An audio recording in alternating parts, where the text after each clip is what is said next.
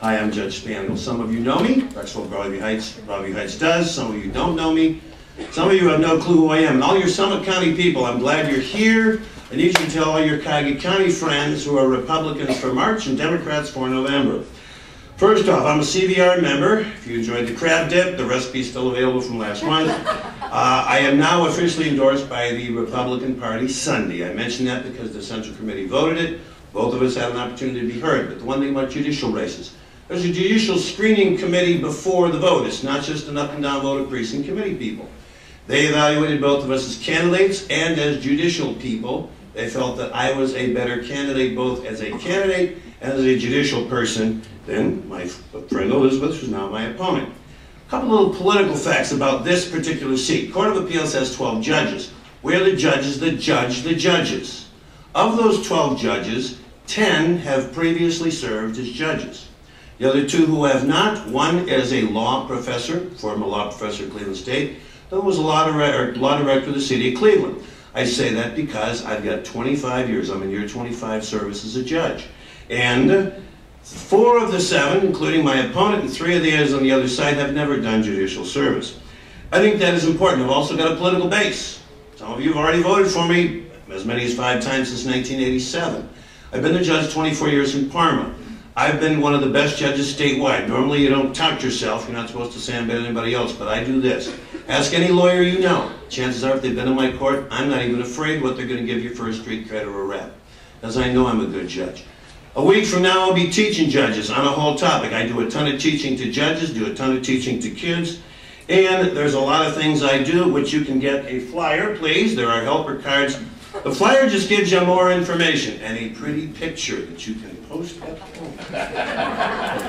Seriously, I've worked in legislative things through the Ohio Judicial Conference. There are specific things in the law that I've drafted that through my contacts in the legislature through the Judicial Conference, through teaching the Judicial College, through my service on what's called the Criminal Sentencing Commission, which is I'm one of three statewide immunity judges, that everybody who's a criminal justice system player sits at that table.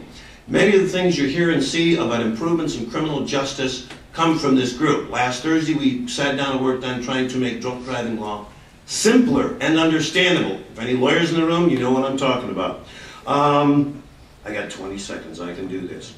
Um, you're going to hear Elizabeth, she has a nice skill set, but my body of work is far superior. I know that I'm a better candidate than any of the five Ds, as well as my opponent. So please, take a flyer, one to a household, or if you have friends, spread them around. Please take a helper card if you want to help. Dominic, if you'd collect any unused for next month. And three minutes on the button.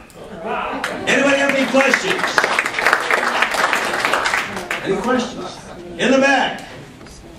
Why don't the judges let the people, let the jury judge the law as well as the facts? Okay, his question was, why don't the judges let the jury judge the law and the facts? It's very simple. No offense, jurors typically do not know the law, whether it's a, a drunk driving or a felony crime. You have to take the law the way it's written, okay? And in our jury charge, you can't apply your own concept of what it should be, or for that matter, eight jurors in my room, 12 jurors in common pleas, you can't decide what the eight or 12 versions are. Now, let's say you make a ruling, or a judge makes a ruling. Court of Appeals is where we do make law. If somebody disagrees with a particular finding, they go to the Court of Appeals. Three-judge panel would say, you know what? The original judge was wrong, they reverse. The original judge was right, we affirm. If two different appellate districts, have you heard about the speeding thing that happened last year about the Supreme Court? One set of appellate districts said you don't need radar laser. Others said you don't have to do that. That's called a certified conflict. And that goes to Columbus and Supreme Court decides. But because, no offense, jurors are not lawyers and don't know the law, and quite frankly, I don't know it all. No lawyer knows all the law. That's why you take the facts and decide the facts. You then apply the laws, the judge gives it to you, and then you come to your decision. Other questions?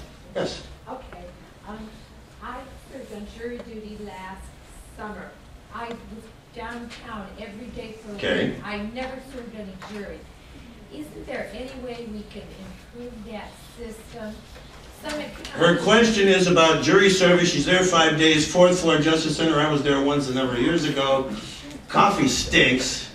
There's a lot of old magazines. Um, each court has their own process. In my court, because we're smaller, common pleas, they've always had a potential need for juries any given day of the week. That's why you're there, that's why you may sit. Even if you're called for a panel, what's called a venire, you might not get to be a juror on that case. I actually got finally at one point to go sit in a venire, although I was not selected. My court, now, I am, I am the, those of you who live here, I am the Debbie Nicastro, Jennifer Weiler of everything west of Brecksville and Independence. Now, I don't know how they do it. Our court only has juries one week a month, four days a week, because that's all we need. We have a system where, okay, today's a Wednesday. If we have jury week this week, after five o'clock you call and say, don't come in tomorrow, because we don't have a jury or the juries went away, because that saves money. But that works for us. In common pleas, they always have a potential need for jurors, which is why you always see people sit there on the fourth floor waiting. Any other questions? Yes, ma'am. Uh, Yeah, what percentage of your judgments were overturned by the appellate review? Very few. First off, the side story, or Judge Jim D. Sweeney retired. Okay, the question was, what percentage of my decisions were overturned? I don't think I've had four or five or six appeals in the last years, and only one's been reversed, which is a current one. First off, I don't get many appeals, because I learned one thing years ago. If you write a good decision, people don't appeal it. They may not agree with me, but it's a well-written decision. I have one now where I got reversed, but it's, I gotta tell you the story, it's CEI and Ohio Bell fighting over some wires on two poles in Brooklyn Heights that a truck hit. And it narrowed down to a 1925 pole agreement. There's an agreement for all that jazz. And I had said it should go to arbitration. The public utility should do this. CEI appealed it. Judge Larry Jones wrote a great dissent. It's about a month ago. I still think I'm right. They said, no, Judge, you go ahead and hear the case instead of letting the Public Utilities Commission decide whether or not Bell can put their wires on the walls. Other than that, I just got an affirmation this past week on a uh, criminal case on housing. To be honest, I would have to say in 24 years, I can think of maybe two reversals and maybe eight appeals over 24 years. So if anything, I've had so few appeals. Now, others in this race, not this side, some on the other side have had a lot of reversals. But that's not for tonight's discussion. Yes, sir. Your Honor, Jack Neville, uh, you missed getting this question on the judicial selection for the Bar Association. It was nice to hear you two weeks ago. Go ahead. Do think you are at a disadvantage coming from the municipal court where you don't try felonies? Right, don't- you yeah. Significant. The, the explanation of Mr. Neville's question, Mr. Neville's on the bar screening committee, which means the judge for yourself is four different bar associations. You're on Cleveland Metro? Okay, so we have one big meeting for all judges, or all candidates.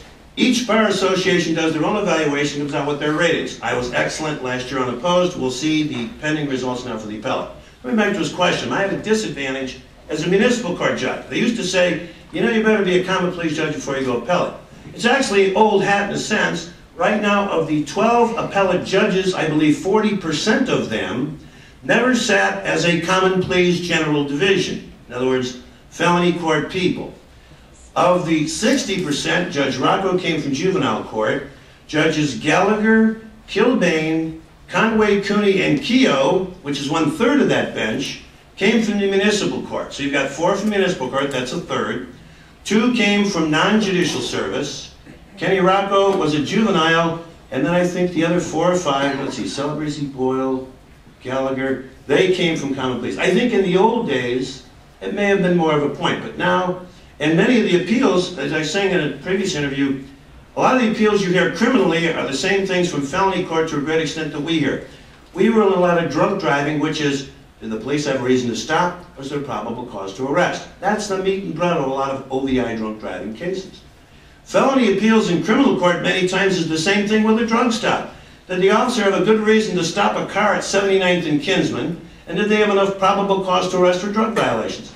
Many of the cases I do, and I teach a lot of case law and a lot of appellate law, is, hey, these drug cases have as importance as OVI, just as the OVI cases have drug law importance. I don't think it's an impediment anymore, Mr. Neville. Any other questions? I thank you all.